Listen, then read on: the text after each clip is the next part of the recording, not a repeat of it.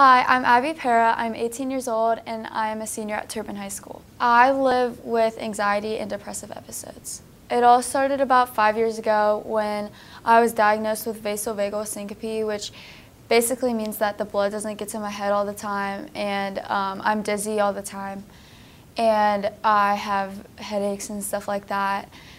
And it was really kind of devastating because I couldn't play basketball and I couldn't do the things that I loved. So I was kind of frustrated with myself just because I couldn't fix what was going on physically, and so then it started affecting me mentally.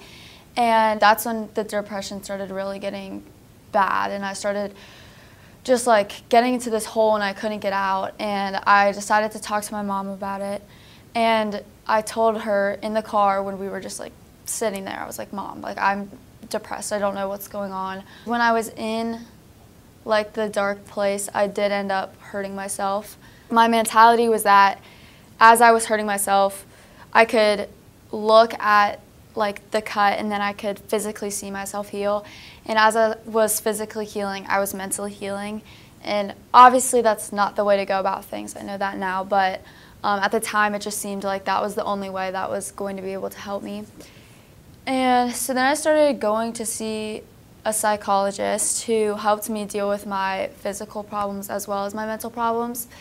And this really helped. Um, like at first I was in denial, like this is not gonna work at all. I don't understand how she's gonna be able to fix me. This is just something that can't be fixed. I'm just gonna be like this forever. It's important to, to speak out about it because you never know what someone might be going through. And it's always important to be kind to each other because you never know what someone else is struggling with every single day. Since I went to my psychologist, it was like an hour of the day where I could just talk about everything that was going on in my life. And you know in high school there's so many things that are demanding and you know that need to be done like getting ready for college and making sure that you're staying on your all of your work. And if you're an athlete you know you have all those practices and stuff. And so it was really nice to be able to talk to somebody and um, she helped me kind of plan out my day and like if I'm taking care of myself instead of trying to take care of everything outside of you know like in the world and what's going on.